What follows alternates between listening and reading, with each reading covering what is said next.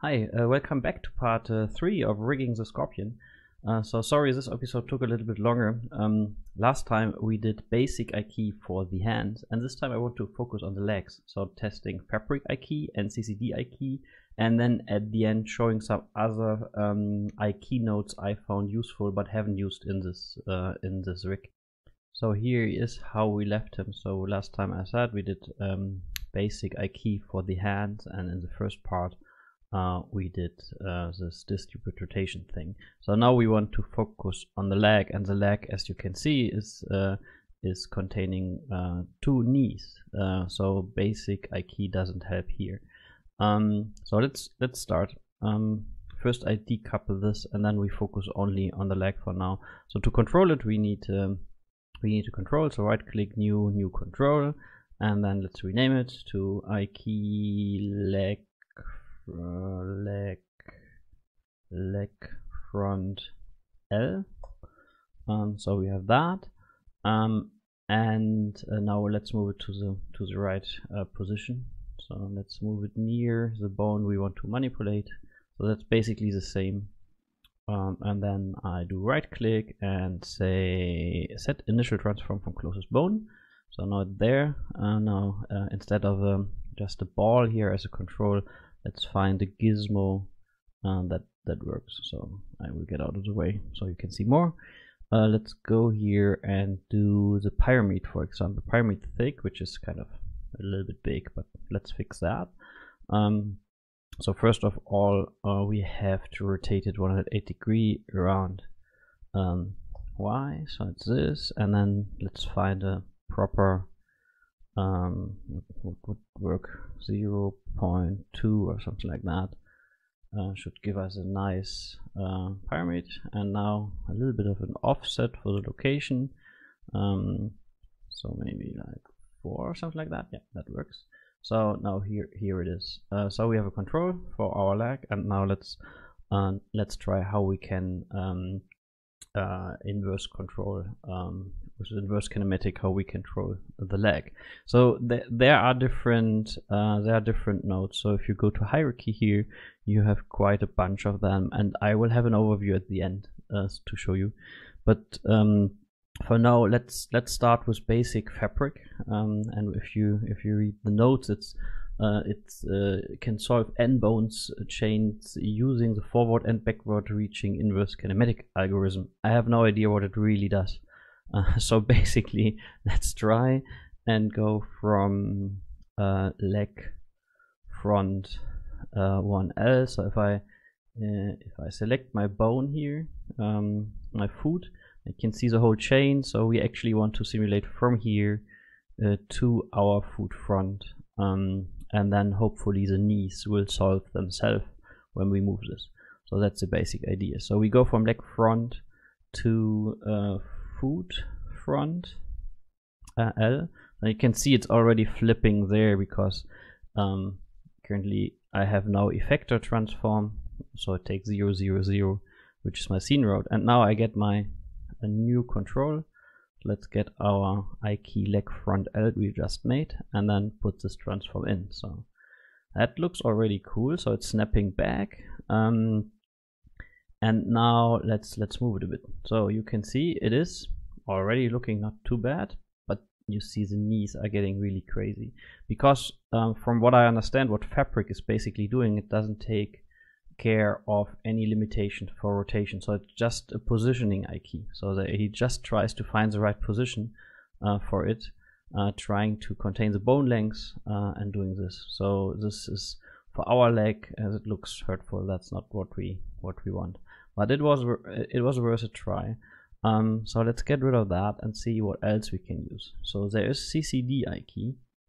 Um, and if you check here, it is uh, saying it uh, chains using the uh, cyclic coordination descent inverse kinematic algorithm. Sounds really fancy. From what I understand, you basically have no rotation limits and it's taking in account um, that the bones are rotated, uh, not like weirdly like before. So it's not just about position, it's also about rotation. So let's take that and then again we say leg front uh, 1L uh, to leg uh, to foot, uh, foot front L, which is our bone chain here, and then we take this effector so it snaps back. That looks good.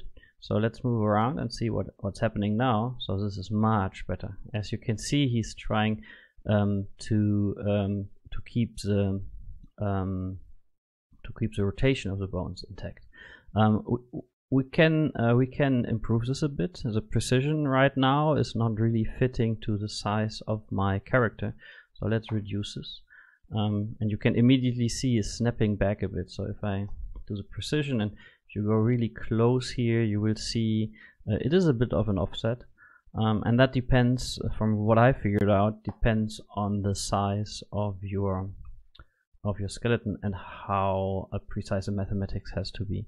Another thing uh, I figured out you can do is you can increase the uh, iterations uh, or decrease it. Um, uh, I, I, think so. So values between four, 4 and 16 are common. So it, again, it it seems that it depends highly on your on your skeleton and what you want to do. Um, then you can say if you want to start the resolving from the tail or from the um, uh, from the other side. So it's uh, uh, that that gives different behavior. So for me, start from tail looks better. Um, I, I, think again that depends on what you want to achieve. And then you have the base rotation limit, which is nice. So basically, he's trying to keep this angle. So if I reduce this, I even get better results, at least for mine. So this looks already pretty nice.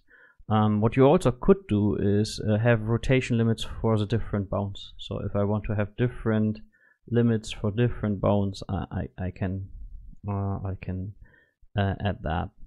Um, but but for me that's not um, that's not what what I want. So let's delete that. Um, yeah, so that's basically how I uh, I figured out um, how how this works, and then then if you go, for example, for the body, we don't have a control there yet, but let's do here right click and then control tra uh, bone transform. Then you can see now it begins to to live uh, um, only with this one leg. So I would have to repeat this now um, but let's speed this a bit up. Uh, cool thing is I um, I have a second project that's a bit ahead. So this is uh, how I made that and here are the notes so see what I can do I can just copy those notes over so that should work and then what I also can do is I just copy over uh, the notes here. Um, there's Python scripting, so you can also use that. And there are, I know from improvements that are coming to make this kind of work uh, faster. Um, and, and, and there are also some, some minor bugs. So what, what happened now here is if you take a close look, some of the connections uh, went a little bit crazy. Uh, but that's easy to fix. Uh, so let's see that we execute this in the right order and every control fits there. So now you can see I, I just copied the stuff over and now, and, and now if I grab let's see if this worked. I hope it worked. Yeah. Nice. Uh, so it's even better visible if you if I go here again to the body and next time we should really do control for the body.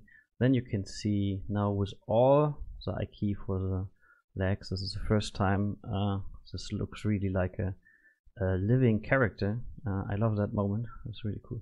So um, yeah well, see how happy he is that his legs are working now uh, yeah so this this is good um, so that's basically uh, how, how the legs are done um, so as a closure note uh, for this part I want to go a little bit through the other IK nodes that are uh, there. So basic IK uh, we had already. Um, uh, there's even more to it.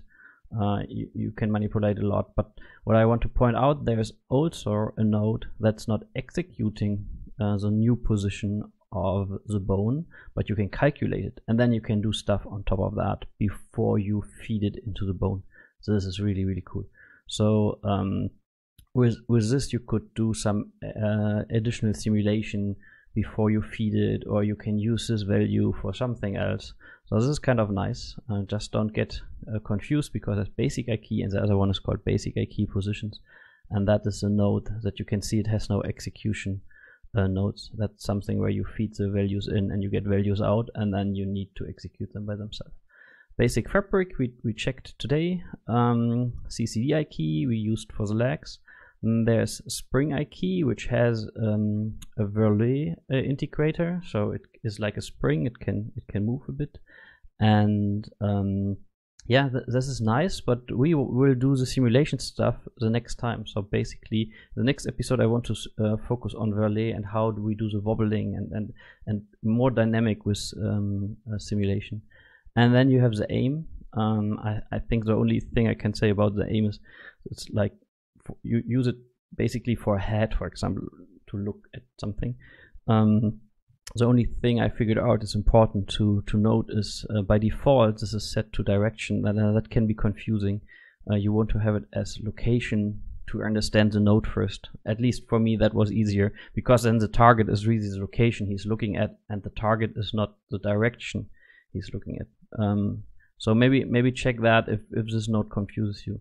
Then there is a fit chain on curve, uh, which is also pretty nice. So for example, I was, um, and maybe we do an extra part of that. I was trying to use this for the uh, for the tail.